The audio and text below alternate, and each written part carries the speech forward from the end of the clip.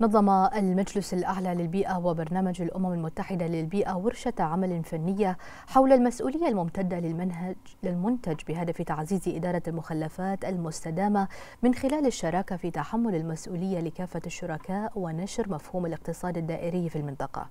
وانطلقت الورشة بالتعاون مع مركز التكنولوجيا البيئية التابع لبرنامج الأمم المتحدة للبيئة بحضور عدد من الخبراء والمعنيين بإدارة المخلفات في دول غرب آسيا.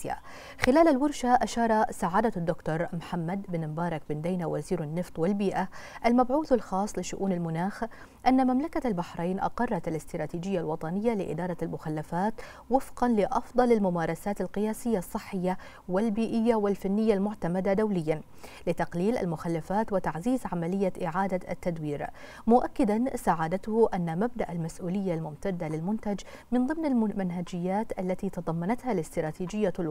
للمخلفات في مملكة البحرين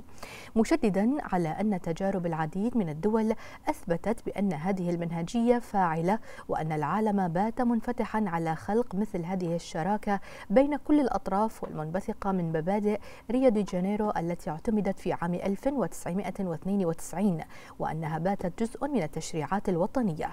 من جانبه أكد السيد سامي ديماسي ممثل برنامج الأمم المتحدة للبيئة المدير الإقليمي لغرب آسيا أكد أهمية المسؤولية الممتدة للمنتج في تعزيز الاقتصاد الدائري وذلك من خلال معالجة إدارة المخلفات في مرحلة نهاية العمر وتشجيع المنتجين على إعادة تصميم المنتجات والتعبئة والتغليف في مراحل مبكرة.